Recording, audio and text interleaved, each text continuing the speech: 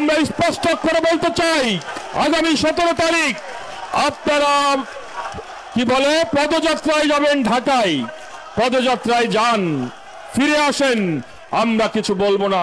কিন্তু পদযাত্রার নামে ঢাকা যেয়ে যদি কোন রকমের বিশৃঙ্খলা সৃষ্টি করেন, এই মাগুরার মাটিতে আপনাদের আর ফিরা হবে না।